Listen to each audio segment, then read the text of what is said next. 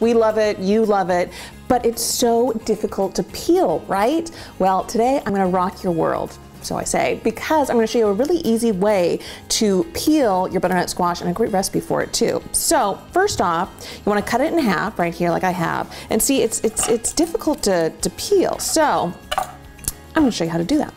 So what we do, cut it in half, and then you poke holes in it just like that, poke holes all the way around it, and then we're gonna put in the microwave for about three and a half, four minutes, depending on your microwave.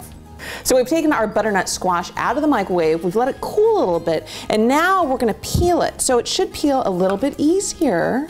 There we go. Let it cool off. I cut the ends off too, so it's a little easier to work with. And I'm just gonna continue to peel this and then chop it up, and I'll show you what I have next.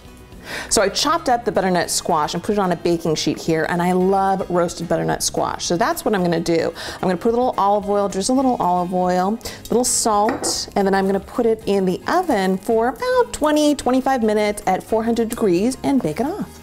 So now that we've roasted off our butternut squash, which quite frankly I could eat just like this, but I'm gonna show you a really simple recipe involving this butternut squash. Put this in a bowl. And I've also cooked up some quinoa here.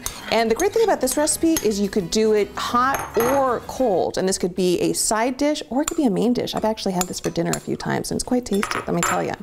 You mix it all together like this. And so you have the sweetness of the butternut squash with the saltiness of the feta cheese. It's so yummy.